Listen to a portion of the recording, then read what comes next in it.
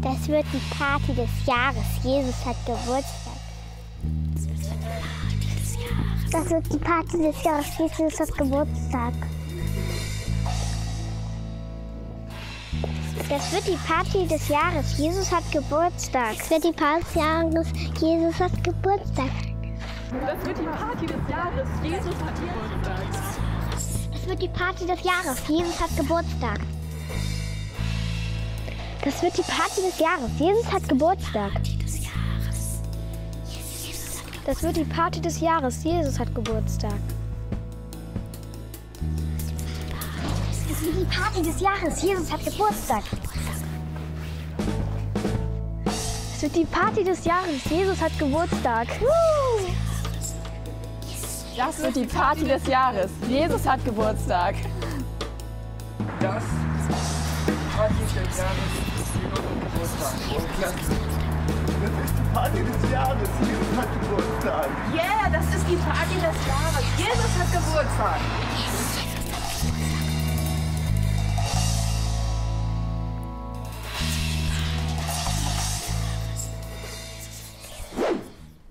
Hey, was ist denn mit euch los? Hast du es noch nicht gehört? Die Party. Die Party des Jahres ist abgesagt. Wegen Corona. Ey Leute, ich kann bald nicht mehr.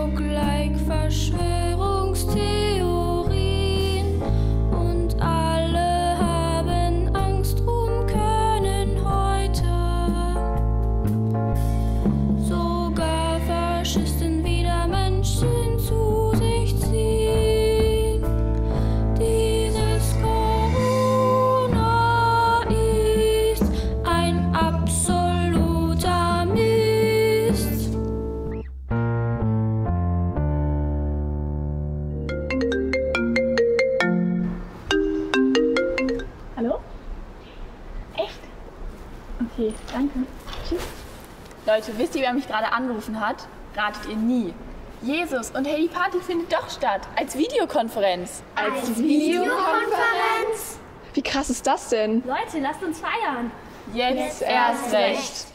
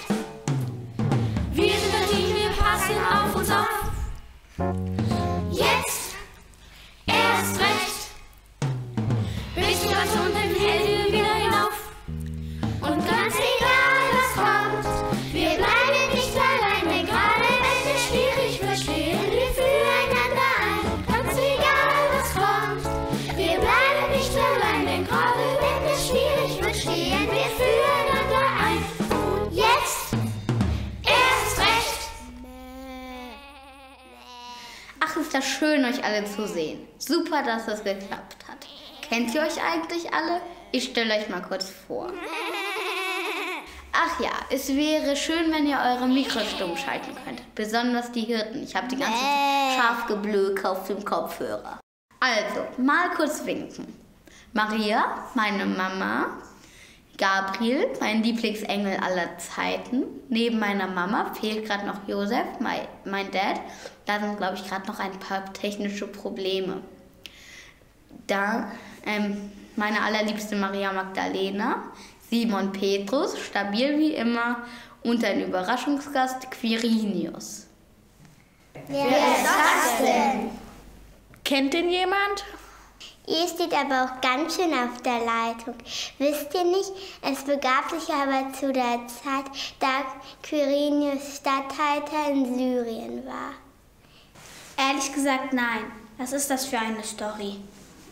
Okay, könnt ihr vielleicht noch nicht kennen, wird mir ein ziemlicher Bestseller. Gabi, bring mal meine Gäste nicht so durcheinander. Wen habe ich denn noch nicht? Ach ja, noch einer meiner Lieblingshirten. Und natürlich Thomas, noch einer meiner besten Freunde. Die anderen kommen gleich dazu. Das wird klappen. Papa kümmert sich gerade noch um besseres Netz. Ich glaub's erst, wenn ich's sehe. Hey, finde ich ja gut, dass deine Mom auch mitfeiert. Wie geht es Ihnen denn? Ach, mich macht diese Zeit um Jesus Geburtstag immer ein bisschen wehmütig. Wisst ihr, das war echt nicht leicht. Was denn? Erzähl doch nochmal. Oh, es gab diese entsetzliche Volkszählung. Ich war damals hochschwanger und tagelang auf einem Esel. Habt ihr schon mal auf einem Esel gesessen? Dann wisst ihr, wie das schaukelt. Naja, es kam, wie es kommen musste. Bei dem Geschlaukle fingen natürlich die Wehen an. Und wir waren noch nicht mal richtig in Bethlehem angekommen. Und Josef hatte natürlich nicht vorgebucht. Das war nicht seine Schuld. In Bethlehem gab es damals noch kein Online-Reservierungssystem, das irgendwie funktioniert hätte. Ja, und dann haben sie uns in einem Stall untergebracht. Nicht gerade de- das, was man sich für die Geburt seines ersten Kindes vorstellen würde. Und es war gerade noch rechtzeitig. Kaum hatte Josef ein bisschen Platz für uns freigeräumt, gingen die Wehen so richtig los. Ja, und dann hat man dieses verletzliche kleine Kind im Arm. Und alles ist auf einmal wie neu. Alles vergessen, was vorher war. Kaum zu glauben, du warst mal klein. Es ist einfach so ein Wunder. Ein kleines Kind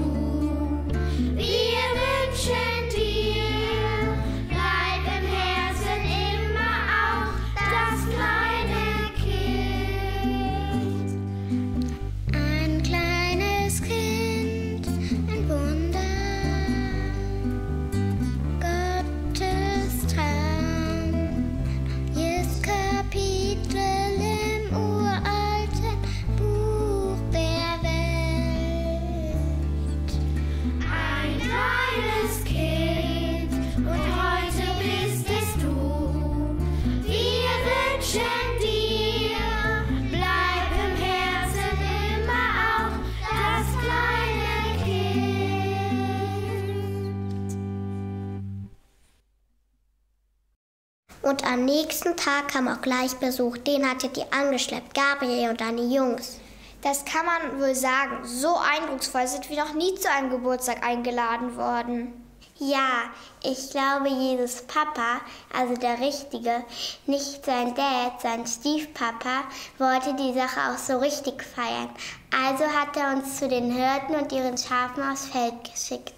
Und ihr habt uns echt ganz schön erschreckt, du und deine Flattermänner. Als ich bei meinen Schafen wacht, bin ich auf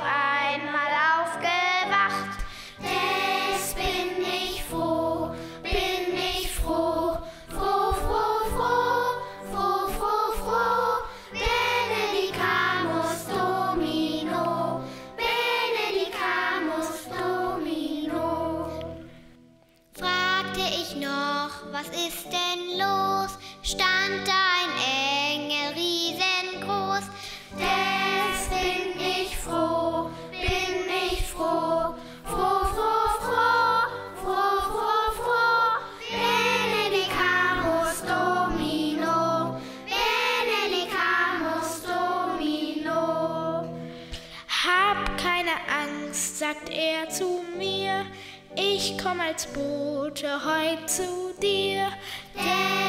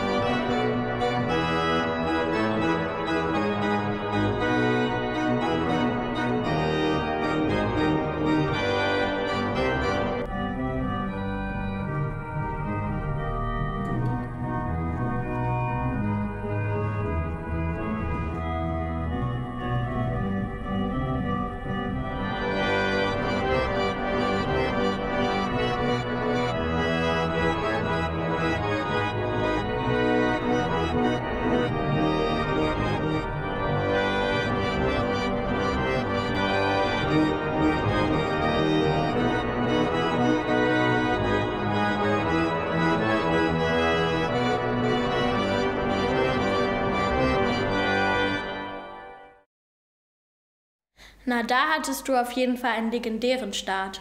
Und irgendwann sind wir uns dann über den Weg gelaufen. Da warst du aber schon echt ganz gut in Übung mit deinen Wundern und so. Ist doch klar, bei dem Papa. Aber das muss ich sagen, die Zeit mit dir war echt besonders. Ja, das finde ich auch. Und hatten wir einen Spaß. Das war viel spannender als Fische fangen oder Netze flicken. Menschenfang hattest du immer gesagt. Wir haben es ja nicht gleich verstanden, aber heute können wir wirklich sagen, unser Netz Das hält.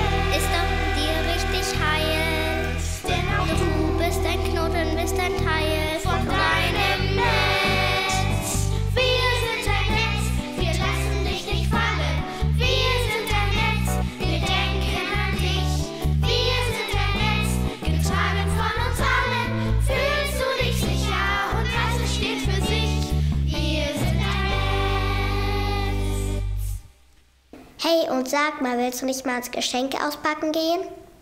Habt ihr mir denn... Na klar, was denkst du denn? Auspacken! Auspacken! Ist ja gut. Hier zur Erinnerung. Gold, Weihrauch, Myrrhe. Also sag mal, das wäre doch wirklich nicht nötig gewesen. Wie damals, daran kannst du dich natürlich nicht erinnern. Deine Mutter erzählt es dir nach dem Musical, ja?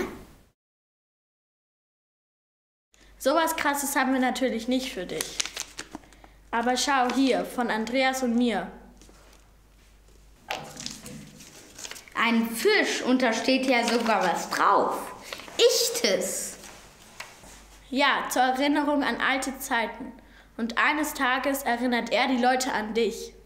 Du wirst schon sehen, sie malen sich ihn hinten auf ihre Autos und fahren damit herum. Da passt meins perfekt dazu. Schön, aber was ist das? Du wirst sehen, das, das trägt man später einmal so und erinnert sich an dich. Hier ist mein Geschenk für dich. Das ist wunderschön.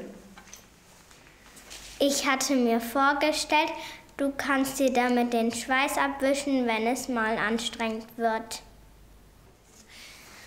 Ach, Josef, Dad, da bist du ja endlich. Ich hatte mir schon Sorgen gemacht.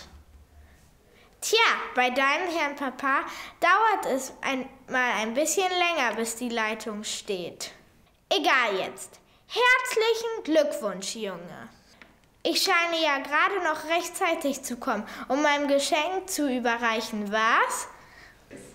Hier, endlich mal was Nützliches. Eine Zimmermannsaxt. Wie cool. Na, ich dachte, wenn es mit den Wunderheilungen mal nicht so klappt und es den Leuten zu schwer wird, deinen Gleichnissen zuzuhören. Ach, Dad, du bist der Beste. Aber mach dir mal keine Sorgen. Das wird schon alles. Ein Hoch auf Jesus, seine Mom und sein Dad. Und auf den Papa natürlich auch. Los, Leute, macht mit, mal ein bisschen Stimmung hier.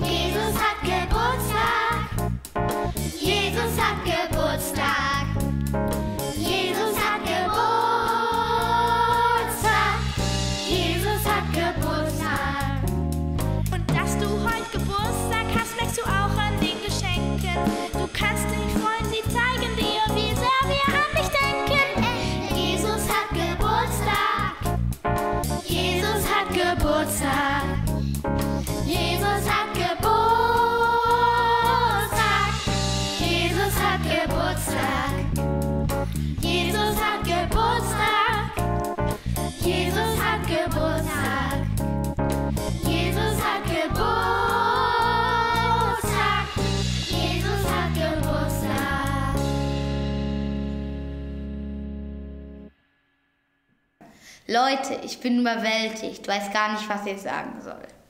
Du sollst ja auch nicht sagen, du sollst endlich den Kuchen anschneiden. Aber erst die Kerzen auspusten. Das machen wir dann. Passt auf. Eins, zwei, drei.